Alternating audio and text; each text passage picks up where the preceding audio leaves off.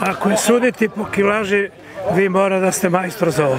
Evo sad ću da kažem, a, po meni, a, mršav kuvar i ne može da bude kuvar. Znači to je antireklama, kuvar treba da ima kilažu, treba čovjek da voli ono što sprema da bi mogao da spremi kako Tako treba. Kad spremi prvo da proba on, pa onda... Normalno, evo kao što vidite u drugoj Hajde da vas vidim ovde. kako probate. Normalno, evo. Pazite da se ne izgorite sam. Ne, ne, tamo posle vidite ovde sa hladnijeg dela, ovde tu pravo. Da? To je to.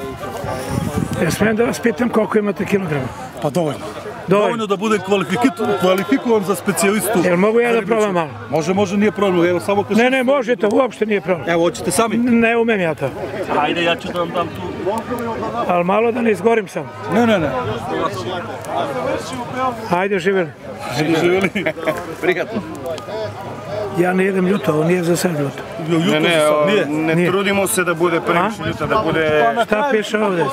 Ekologija i budućnost Pirota, divlja deponija, pretnja budućnost. Bravo. Kako beše, koja je ova ekipa? Udruženje ptice pevačice fauna Evrope. Udruženje za zaštitu i proučavanje odgoj ptica i tu imamo pomoć. Društva za ekologiju GEA iz Pirota. Odakle sve ove ribe koje su? Isključivo rečne ribe, mi smo znači, e, Koje, ribolovci. Koje?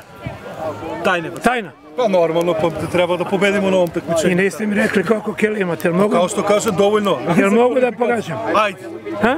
može. Ajde. Ako sam blizu, dolazim na ručak. Tako je. Dogovoreno. I ako niste blizu, dolazite na ručak da budete blizu.